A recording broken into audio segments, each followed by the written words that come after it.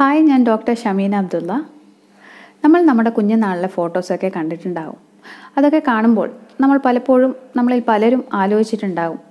എങ്ങനെയാണ് ഞാൻ ആ ഒരു അവസ്ഥയിൽ നിന്ന് ഇവിടം വരെ ആയത് എന്നുള്ളത്. അതിലേറ്റവും നമുക്ക് അതിശയം തോന്നുന്ന കാര്യം എന്താണെന്ന് വെച്ചാൽ ഒന്ന് സ്വയമായിട്ട് അനങ്ങാൻ പോലും പറ്റാത്തൊരവസ്ഥയിലാണ് നമ്മൾ ഈ ഭൂമിയിലോട്ടേക്ക് വരുന്നത്. അത് കഴിഞ്ഞ് നമ്മൾ വളർച്ചയുടെ ഓരോ ഘട്ടം നമ്മൾ തരണം ചെയ്ത് ചെയ്ത് അവസാനം സ്വയമായി ആരുടെ സഹായമില്ലാതെ നിൽക്കാൻ പറ്റുന്ന ഒരു അവസ്ഥയിലോട്ട് നമ്മൾ എത്തുന്നു. അത് ശരിക്കും നമുക്കൊരു അതിശയമുള്ള കാര്യമാണ്. കാരണം എല്ലാ ജീവജാലങ്ങളെയും വെച്ച് നോക്കുമ്പോഴത്തേനും അവരുടെ കുഞ്ഞുങ്ങളെ പ്രസവിക്കുമ്പോൾ അവരെല്ലാവർക്കും നിൽക്കാൻ പറ്റുന്ന ഒരു അവസ്ഥയിൽ അവർ ജനിക്കുന്നത് തന്നെ. പക്ഷെ മനുഷ്യന്മാരുടെ കാര്യം എന്താണെന്ന് വെച്ചാൽ ജനിക്കുമ്പോൾ നമ്മൾക്ക് ഒന്നും പറ്റുന്നില്ല. നമ്മൾ നിസ്സഹായ അവസ്ഥയാണ് നമുക്ക് സ്വയമായിട്ട് എണീക്കാനോ നടക്കാനോ ഒന്നും പറ്റാത്ത അവസ്ഥയാണ്. അപ്പോൾ നമ്മൾ ഘട്ടം ഘട്ടമായിട്ടാണ് ഇത് തരണം ചെയ്ത് ഞാൻ നേരത്തെ പറഞ്ഞ പോലെ ആരുടെ സഹായമില്ലാതെ നമ്മൾ സ്വയം പ്രാപ്തരായിട്ട് എത്തുന്നത്. അതുപോലെ തന്നെ നമ്മൾ നമ്മുടെ കുഞ്ഞുങ്ങൾക്ക് വല്ല കാര്യം പറഞ്ഞു കൊടുത്താൽ അവരത് കേട്ട് തിരിച്ചതുപോലെ പറയുക. നമ്മൾ എന്തെങ്കിലും പാട്ട് പഠിപ്പിച്ചു കൊടുത്താൽ അവരതുപോലെ തിരിച്ച് പറയുക. അവർ ചിരിക്കുക. അവർ അവരുടെ വികാരങ്ങൾ നമ്മളോട് പ്രകടിപ്പിക്കുക. ഇങ്ങനെയൊക്കെ പല കാര്യങ്ങളും പല ഘട്ടങ്ങളും ആയിട്ടാണ് കുഞ്ഞുങ്ങളത് നമ്മളോട് കാണിക്കുന്നത്. നമ്മൾ ആദ്യമായി സ്കൂളിൽ ചേർക്കുന്നു. ആ സമയത്ത് നമ്മളുടെ മനസ്സിൽ പല ആഗ്രഹങ്ങളായിരിക്കും പല പ്രതീക്ഷകളായിരിക്കും. അതായത് നമ്മുടെ മക്കളൊക്കെ നാളെയുടെ വാഗ്ദാനങ്ങളായി വളരട്ടെ എന്നുള്ളത് അവരങ്ങനെ വളരും എന്നുള്ളത് ആയിരിക്കും എല്ലാ മാതാപിതാക്കളുടെ മനസ്സിലുമുള്ളത് പക്ഷെ നമ്മളെല്ലാവരും ആലോചിക്കാൻ വിട്ടുപോകുന്ന ഒരു കാര്യമുണ്ട്. അതായത് ഈ പറഞ്ഞ കുട്ടികളുടെ ബുദ്ധിയുടെ വികാസം അതെങ്ങനെയാണ് നടക്കുന്നത്? അല്ലെങ്കിൽ അവരുടെ മാനസികമായ ആ വളർച്ച അത് എങ്ങനെയാണ് പോകുന്നത് എന്നുള്ളത്. അപ്പോൾ ഇന്ന് ഞാനിവിടെ പ്രധാനമായിട്ടും പറയാൻ ഉദ്ദേശിക്കുന്നത് കുഞ്ഞുങ്ങളുടെ ബുദ്ധി വികാസത്തെ പറ്റിയാണ്. അവരുടെ ബുദ്ധിയുടെ വളർച്ചയെ പറ്റിയാണ്. ഇത് നമുക്ക് ഒരുപാട് ഗുണം ചെയ്യും. എല്ലാ മാതാപിതാക്കൾക്കും ഒരുപാട് ഗുണം ചെയ്യും. കാരണം അവരുടെ മക്കൾക്ക് ആവശ്യമുള്ള സമയത്ത് എന്താ കൊടുക്കേണ്ടത് എന്ന് അവർക്ക് തീർച്ചയായും അത് അറിയാൻ സാധിക്കും. അപ്പോൾ ആ- ഒരു ഘട്ടം വരുമ്പോൾ നമ്മൾ അതിൽ കൂടുതലായിട്ട് ശ്രദ്ധിക്കുന്നത് കുട്ടികളുടെ വളർച്ചയിൽ അത് ഒരുപാട് സഹായകമാകും. അപ്പോൾ എല്ലാവരും തീർച്ചയായും ഈ വീഡിയോ മുഴുവനായിട്ടും കാണുക.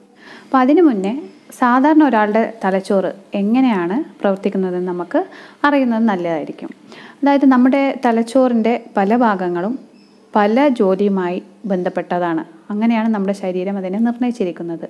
പല പല ഭാഗങ്ങൾക്കും പല പല ജോലിയാണ് അലോട്ട് ചെയ്തിരിക്കുന്നത്. നമ്മുടെ ശരീരത്തിൽ അതായത് ഒരു ബേസിക് ആയിട്ടുള്ള ഫങ്ഷൻസ് നോർമലായിട്ട് നടക്കുന്ന ആ കാര്യങ്ങൾ അതൊക്കെ സാധാരണ കൈകാര്യം ചെയ്യുന്നത് തലച്ചോറിന്റെ താഴ്ഭാഗം അതായത് അതിന്റെ തണ്ട്.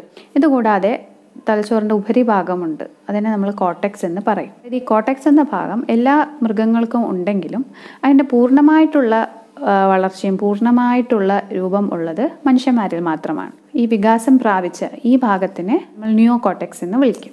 ഇതിന്റെ പ്രധാനപ്പെട്ട ജോലി എന്താണെന്ന് വെച്ചാൽ ചിന്തിക്കാനും പിന്നെ ചില കാര്യങ്ങളൊക്കെ പ്ലാൻ ചെയ്യാനും കാൽക്കുലേറ്റ് ചെയ്ത് എങ്ങനെ ചെയ്യാമെന്നൊക്കെ തീരുമാനിക്കുന്നത് ഈ നിയോ കോട്ടക്സ് ആണ്. ഇത് കൂടാതെ കാര്യങ്ങൾ അറിയാം ഇപ്പോൾ ടേസ്റ്റ് ആണെങ്കിലും അല്ലെ കാണാൻ പറ്റണമെങ്കിൽ നമുക്ക് കേൾക്കാൻ പറ്റണമെങ്കിൽ അതുപോലെ മണക്കാൻ പറ്റുന്നെങ്കിൽ തൊട്ടത് അറിയണമെങ്കിൽ ഇതൊക്കെ പ്രധാനമായിട്ടും കൈകാര്യം ചെയ്യുന്നത് ഈ കോട്ടക്സ് എന്ന ഭാഗമാണ്. ഇതുകൂടാതെ നമ്മളിപ്പോൾ ഒരു കാര്യം എന്തെങ്കിലും നമുക്ക് ചെയ്യണം ഒരു സാധനം നമുക്ക് എടുക്കണം കൈകൊണ്ട് എടുക്കണം. ഇപ്പം നമ്മുടെ ഈ മാംസപേശികൾ ഇതൊക്കെ വർക്ക് ചെയ്യണമെങ്കിൽ അതിന് ആ ഒരു സിഗ്നൽ കൊടുക്കുന്നതും ഈ കോട്ടക്സ് എന്ന് പറഞ്ഞ ഭാഗം തന്നെയാണ്. അപ്പോൾ ഇങ്ങനെയാണ് നമ്മുടെ കോട്ടക്സും നമ്മുടെ നെർവസ് സിസ്റ്റം ഇതൊക്കെ കോർഡിനേറ്റ് ചെയ്ത് ജോലി ചെയ്യുന്നത് ഇങ്ങനെയാണ്. അതായത് നമ്മുടെ ശരീരത്തിനെ മൊത്തമായിട്ട് കൺട്രോൾ ചെയ്യുന്നത് ഈ ബ്രെയിനിന്റെ പ്രധാനമായി ഈ കോട്ടക്സ് എന്ന് പറയുന്ന ഈ ഭാഗം തന്നെയാണ്. ഇനി നമുക്ക് പ്രധാനമായിട്ടുള്ള നമ്മുടെ കാര്യത്തിലേക്ക് കിടക്കാം. അതായത് ഒരു കുഞ്ഞിന്റെ തലച്ചോറിന്റെ വികസനത്തെ പറ്റി ആണ് ഞാനിവിടെ പറയാൻ ആഗ്രഹിക്കുന്നത്. അപ്പോൾ കുഞ്ഞുങ്ങളുടെ തലച്ചോറിന്റെ വികസനം ബാധിക്കുന്ന രണ്ട് ഘട്ടമാണുള്ളത്. അതായത് രണ്ട് പ്രധാനമായിട്ടുള്ള രണ്ട് കാര്യങ്ങളാണ് ഉള്ളത്. അതിൽ ഒരെണ്ണം നമ്മൾ ക്രിട്ടിക്കൽ പീരീഡ് എന്ന് പറയും. ക്രിട്ടിക്കൽ പീരീഡ് എന്ന് വെച്ചാൽ അത് ഒരു ആ ഒരു പീരീഡ് ആ ഒരു സമയം തലച്ചോറിന് കിട്ടേണ്ടത് കിട്ടിയിരിക്കണം ആ സമയത്ത്. ആ സമയത്ത് നമ്മൾ ആ ഒരു ഇൻപുട്ട് കൊടുത്തിട്ടില്ലെങ്കിൽ അത് തലച്ചോറിന്റെ വികസനത്തെ തലച്ചോറിന്റെ വളർച്ചയെ അത് ഭയങ്കരമായിട്ട് ബാധിക്കും. അതുപോലെ തന്നെ ആ കി നന്നായിട്ട് അതിന് ആ ഇൻപുട്ട് ആ സമയത്ത് കിട്ടിയെങ്കിൽ അത് ആ കുട്ടിയുടെ വളർച്ചയെ നന്നായിട്ട് മുന്നോട്ട് കൊണ്ടുപോവുകയും ചെയ്യും. അപ്പോൾ ഈ ഇതിനെയാണ് നമ്മൾ ക്രിട്ടിക്കൽ പീരീഡ് എന്ന് പറയുന്നത്. അപ്പോൾ ഉദാഹരണമായിട്ട് പറഞ്ഞാൽ ആദ്യത്തെ കുറച്ച് വർഷങ്ങൾ കൃത്യമായി പറഞ്ഞാൽ ആദ്യം ഒന്ന് തൊട്ട് മൂന്ന് വയസ്സ് വരെയൊക്കെ നന്നായിട്ട് ഈ ലാംഗ്വേജ് നമ്മുടെ സംസാരമൊക്കെ ഡെവലപ്പ് ചെയ്യുന്ന ഒരു സമയമാണ്. ആ സമയത്ത് കുട്ടിക്ക് നന്നായിട്ട് ഇൻപുട്ട് കിട്ടിയിരിക്കണം. അവർക്ക് സംസാരിക്കാനുള്ള ഒരു സാഹചര്യം അത്രയും ഒരു എക്സ്പോഷർ കിട്ടിയിരിക്കണം. അവരോട് സംസാരിപ്പിക്കുകയും അവരെ തിരിച്ച് സംസാരിക്കുകയും അവരെ ഓരോന്ന് കണ്ട് അവരെ ഓരോരോ കാര്യങ്ങൾ കേൾപ്പിക്കുകയും കാണിച്ചു കൊടുക്കുകയൊക്കെ ചെയ്യുന്ന ആ ഇൻപുട്ട് നന്നായിട്ട് കൊടുക്കേണ്ട സമയമാണ് ആദ്യത്തെ മൂന്ന് വയസ്സ് വരെ. പ്രത്യേകിച്ച് പറഞ്ഞാൽ ആദ്യത്തെ ഒരു വയസ്സ്. ആ സമയത്താണ് നമ്മൾ ഓരോ ശബ്ദങ്ങളായിട്ട് കുട്ടികൾ അത് പ്രിസീവ് ചെയ്യാൻ തുടങ്ങുന്നത്. കുട്ടികൾ അത് ഗ്രഹിക്കാൻ തോ- തുട- അതായത് ഓരോ ശബ്ദങ്ങളായിട്ടും ഓരോ വാക്കുകളായിട്ടും അതെങ്ങനെയാണ് ഉച്ചരിക്കുന്നത് എന്നൊക്കെ ഗ്രഹിക്കുന്നത് ഈ ആദ്യത്തെ വർഷമാണ്. ആദ്യത്തെ വർഷങ്ങളിൽ നമ്മുടെ ശരീരത്തിൽ നമ്മൾ കാണുന്ന ഓരോ ഭാഗത്തിനും കാണുന്ന വളർച്ചയെ പോലെ തന്നെ ഓരോ ഭാഗത്തിലുണ്ടാകുന്ന മാറ്റങ്ങളെ പോലെ തന്നെ തലച്ചോറിനും അതിന്റേതായ മാറ്റങ്ങളും അതിന്റേതായ വളർച്ചകളും കണ്ടുവരുന്നു. അപ്പോൾ തലച്ചോർ കൂടുതലായിട്ട് വികസനം കാണിക്കുന്നത് അല്ലെങ്കിൽ അത് വളർച്ച കാണിക്കുന്നത് ആദ്യത്തെ കുറച്ച് വർഷങ്ങൾ തന്നെയാണ്. അങ്ങനെ അഞ്ച് വയസ്സാവുമ്പോഴത്തേനും അത് ജനിക്കുമ്പോൾ എത്ര സൈസായിരുന്നു അതിന്റെ മൂന്നിരട്ടി സൈസ് വലിപ്പത്തിൽ അത് വളരുന്നു. മാത്രമല്ല അതിന്റെ തൂക്കം നമ്മളൊരു മുതിർന്നവരുടെ തലച്ചോറിന്റെ തൂക്കം എത്രയാണോ അതിന്റെ തൊണ്ണൂറ്റഞ്ച് ശതമാനത്തോളം അഞ്ച് വയസ്സാകുമ്പോഴത്തേനും തലച്ചോറിന്റെ തൂക്കം അത്രയും ഉണ്ടാകും നമ്മുടെ തലച്ചോറിൽ കുറേ കോശങ്ങളുണ്ട്. ആ കോശങ്ങളുടെ വളർച്ച തുടങ്ങുന്നത് ഗർഭാവസ്ഥയിൽ തന്നെ തുട തുടങ്ങുന്നതാണ്. പക്ഷേ ഇത് തലച്ചോറിന്റെ എല്ലാ ഭാഗത്തേക്ക് എത്തുന്നതും അത് മൊത്തത്തിൽ വികസിച്ച് എത്തുന്നത് ഒരു വയസ്സൊക്കെ ആകുമ്പോഴാണ് ഒരു വയസ്സ് കഴിഞ്ഞ് കഴിഞ്ഞാൽ പിന്നെ ഈ കോശങ്ങൾ മറ്റൊരു കോശമായിട്ട് ഇതിന് സിഗ്നൽസ് പാസ് ചെയ്യേണ്ടത് കൊണ്ട് ഇത് അങ്ങോട്ടും ഇങ്ങോട്ടും കണക്ഷൻസ് ഉണ്ടാക്കുന്നു. അതായത് ന്യൂറോണൽ കണക്ഷൻസ് ന്യൂറോൺസ് അങ്ങോട്ടും ഇങ്ങോട്ടും കണക്ഷൻസ് ഉണ്ടാകുന്നു ഈ കണക്ഷൻസ് ഉണ്ടെങ്കിൽ മാത്രമേ അതിലൂടെ സിഗ്നൽ പാസ് ചെയ്തെങ്കിൽ മാത്രമേ നമുക്ക് നമ്മുടെ ഓരോ കാര്യങ്ങൾ ചെയ്യാൻ പറ്റത്തുള്ളൂ. നമ്മൾ ഓരോ കാര്യം മനസ്സിൽ വിചാരിക്കുമ്പോൾ നമ്മൾ ഒരു കാര്യം ചെയ്യണമെന്ന് വിചാരിക്കുമ്പോൾ ഈ സിഗ്നൽസ് നമ്മൾ തലച്ചോറിൽ എത്തിക്കുന്നത് ഈ ന്യൂറോൺസ് ആണ്. അപ്പോൾ ഇതിന്റെ വികസനം അതായത് ഈ കണക്ഷൻ ഉണ്ടാക്കുന്നത് ഈ ഒന്നര മാസം വരെയുള്ള ആ ബുദ്ധി വളർച്ചയുടെ സമയത്ത് ആ തലച്ചോറിന്റെ വളർച്ച സമയത്താണ് ഈ കണക്ഷൻസ് ഉണ്ടാക്കുന്നത്.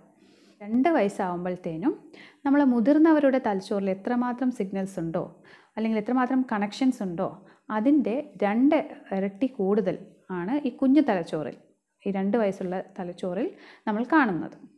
അങ്ങനെ ഈ ഇത്രയും കണക്ഷൻസ് അല്ലെങ്കിൽ ഇത്രയും സിഗ്നൽസ് തലച്ചോറിൽ ആവശ്യമില്ല. അപ്പോൾ ഇത് വെട്ടിച്ചുരുക്കേണ്ടതുണ്ട്. ഇതും തലച്ചോറിന്റെ ജോലി തന്നെയാണ്. തലച്ചോറിലെ കുറേ ജനിതകമായ ഘടകങ്ങളുണ്ട്. അതിന്റെ ജോലി തന്നെയാണ് ഈ സിഗ്നൽസ് അല്ലെങ്കിൽ ഈ കണക്ഷൻസ് വേണ്ടാത്ത കണക്ഷൻസ് വെട്ടിച്ചുരുക്കി മാറ്റുക എന്നുള്ളത്. ഇതിനെ നമ്മൾ പ്രൂണിങ് എന്ന് പറയും. ഇത് പ്രധാനമായിട്ടും നടക്കുന്നത് ഈ മൂന്ന് വയസ്സ് തൊട്ട് ഈ ഇരുപത് വയസ്സ് വരെയാണ് ഈ പ്രൂണിങ് നടന്നുകൊണ്ടിരിക്കുന്നത്. ഇതിൽ നിന്ന് തന്നെ പ്രധാനമായിട്ടും കാണുന്നത് ഏഴ് വയസ്സ് തൊട്ട് പതിനഞ്ച് വയസ്സ് വരെയുള്ള ആ കാലയളവിലാണ്. ആ സമയത്ത് നമ്മൾ കൂടുതലായിട്ട് നമ്മൾ ഉപയോഗിക്കുന്ന കാര്യങ്ങൾ നമ്മൾ കൂടുതലായിട്ട് എക്സ്പോഷർ നമുക്ക് കിട്ടുന്ന കാര്യങ്ങൾ ആ സിഗ്നൽസ് തലച്ചോറ് അതിനെ കൂടുതലായിട്ട് പരിപോഷിപ്പിക്കും. അതിനെ ഒരുപാട് തലച്ചോറ് തന്നെ പ്രോത്സാഹിപ്പിക്കും. അതുപോലെ തന്നെ നമ്മൾ തീരെ നമ്മൾ ഉപയോഗി ഉപയോഗിക്കാത്ത അല്ലെങ്കിൽ നമ്മൾ തീരെ എക്സ്പോസ് ചെയ്യാത്ത ആ ഒരു കണക്ഷൻസും ആ ഒരു ന്യൂറോൺസിനെയൊക്കെ ആ ഒരു സിഗ്നൽസിനൊക്കെ തലച്ചോറിനെ വെട്ടിച്ചുരുക്കി മാറ്റും. അങ്ങനെ നമ്മൾ ഒരു ഇരുപത് വയസ്സൊക്കെ ആകുമ്പോഴത്തേനും നമ്മുടെ തലച്ചോറ് ആവശ്യമായ സിഗ്നൽസ് വെക്കുകയും നമുക്ക് ആവശ്യമായ കണക്ഷൻസ് നമ്മൾ കൂടുതലായിട്ട് ഉപയോഗിക്കുന്ന കണക്ഷൻസ് വീണ്ടും വീണ്ടും ഉപയോഗിക്കുന്ന കണക്ഷൻസ് ആണെങ്കിൽ അത് കൂടുതലായിട്ട് സ്ട്രെങ്തൻ ചെയ്യും. അതിനെ ഒന്നും കൂടെ കുറച്ചും കൂടെ അതിനെ ദൃഢപ്പെടുത്തും. അപ്പോൾ ആ സിഗ്നൽസിനെ മാത്രം വെച്ച് അല്ലാത്ത സിഗ്നൽസിനൊക്കെ തലച്ചോറിനെ വെട്ടി മാറ്റി ചുരുക്കും. നമ്മുടെ ഈ സിഗ്നൽസ് പാസ് ചെയ്യണമെങ്കിൽ നമ്മുടെ തലച്ചോറിൽ കുറച്ച് കെമിക്കൽസ് വേണം. അതിനെ ന്യൂറോ ട്രാൻസ്മിറ്റേഴ്സ് എന്ന് പറയും. ഈ ന്യൂറോ ട്രാൻസ്മിറ്റേഴ്സാണ് നമ്മുടെ പല മനോരോഗത്തിനും കാരണമാകുന്നത്. അതായത് കുറേ സന്തോഷം തരുന്ന ന്യൂറോ ട്രാൻസ്മിറ്റേഴ്സ് ഉണ്ട് നമുക്ക് സങ്കടം ഉണ്ടാക്കുന്ന ന്യൂറോ ട്രാൻസ്മിറ്റേഴ്സ് ഉണ്ട്. ഇത് എല്ലാവരുടെ തലച്ചോറിലും കണ്ടുവരുന്ന ന്യൂറോ ട്രാൻസ്മിറ്റേഴ്സ് ആണ്. അപ്പോൾ ആദ്യമായി നമ്മുടെ തലച്ചോറിൽ ഉണ്ടാകുന്ന ന്യൂറോ ട്രാൻസ്മിറ്റർ ഏതാണെന്ന് വെച്ചാൽ സെറട്ടോണിനാണ് ഇത് കഴിഞ്ഞ് ഡോപ്പമിൻ എസ്റ്റൈൽകോളിൻ എന്നൊക്കെ പറയുന്ന ബാക്കി ന്യൂറോ ട്രാൻസ്മിറ്റേഴ്സും തലച്ചോറിൽ വരാൻ തുടങ്ങും. ഇനി ഒരു കുട്ടിയുടെ തലച്ചോറ് അല്ലെങ്കിൽ ഒരു ബുദ്ധി അതിന്റെ വളർച്ചയിൽ രണ്ട് ഘടകങ്ങൾക്കാണ് പ്രധാനമായിട്ടും പങ്കുള്ളത്. ഒന്ന് ജനിതകമായ ഘടകം രണ്ടാമത്തത് നമ്മുടെ ചുറ്റുപാട് അതായത് നമ്മൾ ജീവിക്കുന്ന സാഹചര്യം നമ്മൾ ഇടപഴകുന്ന ആൾക്കാർ അതിന്റെ ഇൻഫ്ലുവൻസ് അതിന്റെ സ്വാധീനം എൻവയോൺമെന്റൽ ഫാക്ടേഴ്സ് എന്ന് പറയും. ഇതും കൂടിയാണ് ഈ തലച്ചോറിന്റെ അല്ലെങ്കിൽ ആ കുട്ടിയുടെ ബുദ്ധിയുടെ വളർച്ചയെ ബാധിക്കുന്ന രണ്ട് ഘടകങ്ങൾ. ജനിതകമായ ഘടകത്തിന്റെ കാര്യം എന്താണെന്ന് വെച്ചാൽ ഇപ്പോൾ നമുക്ക് ഒരു കഴിവുണ്ടെങ്കിൽ അതിനെ തുടക്കം കുറിക്കാൻ അതിനെ സ്റ്റാർട്ട് ചെയ്യാൻ അതിനെ സഹായിക്കുന്നത് ഈ ജനിതകമായ ഘടകമാണ്. അത് എല്ലാം ഒന്ന് സ്റ്റാർട്ട് ചെയ്ത് വെക്കും.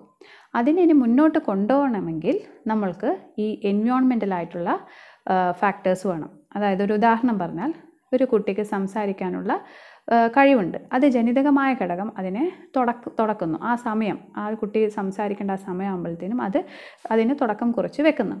പക്ഷേ അതിന് വേണ്ട ഇൻപുട്ട് നമ്മുടെ ചുറ്റുവട്ടത്തു നിന്ന് കിട്ടണം. ആ കുട്ടിയെ സംസാരിപ്പിക്കാനും കുട്ടിക്ക് ആ സമയത്ത് പല ശബ്ദങ്ങൾ കേൾപ്പിക്കാനും അത് എന്താണെന്ന് അതിനെ മനസ്സിലാക്കി കൊടുക്കാനൊക്കെയുള്ള ആ ഒരു ചുറ്റ ആ ചുറ്റുപാട് ആ അന്തരീക്ഷത്തിൽ അത് വളർന്നാൽ മാത്രമേ അതിന് ആ ഒരു കഴിവ് നന്നായിട്ട് പരിപോഷിപ്പിച്ച് മുന്നോട്ട് പോകാൻ പറ്റത്തുള്ളൂ. പഠനങ്ങൾ സ്ഥിരീകരിച്ചിട്ടുണ്ട്. ആദ്യത്തെ കുറച്ച് വർഷങ്ങൾ അല്ലെങ്കിൽ ആദ്യത്തെ ഒന്ന് രണ്ട് വർഷങ്ങൾ ഒരു കുട്ടിയെ നമ്മൾ തീരെ അവരെ തീരെ കെയർ ചെയ്തില്ലെങ്കിൽ മൊത്തത്തിൽ അതിനെ നെഗ്ലക്റ്റ് ചെയ്തിട്ടുണ്ടെങ്കിൽ അതിന്റെ തലച്ചോറിലെ കോർപ്പസ് കെലോസം എന്ന ഒരു ഭാഗത്തിന്റെ വളർച്ചയെ അത് ബാധിക്കുമെന്ന്.